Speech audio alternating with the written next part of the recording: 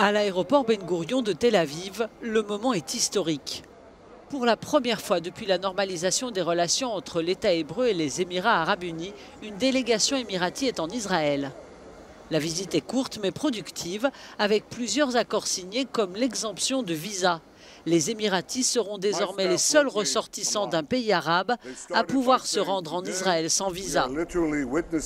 Mon équipe m'avait écrit ces quelques lignes. Aujourd'hui, nous sommes littéralement témoins de l'histoire en marche. Et j'ai dit absolument pas. Aujourd'hui, nous sommes en train de faire l'histoire qui perdurera sur des générations.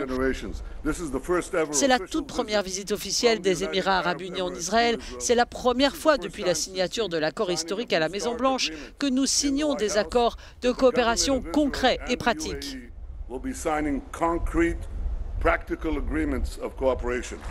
Les deux ministres émiratis ont également signé des accords sur la protection des investissements, l'aviation et la coopération scientifique.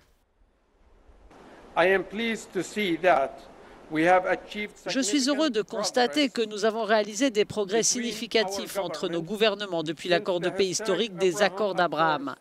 Les Émirats arabes unis continueront à être le leader régional en termes de réformes économiques, d'ouverture et de commerce international, de stabilité politique et de rétablissement de la paix.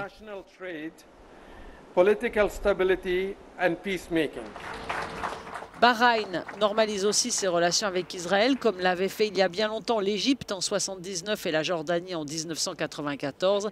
Les Palestiniens ont dénoncé ces accords comme une trahison.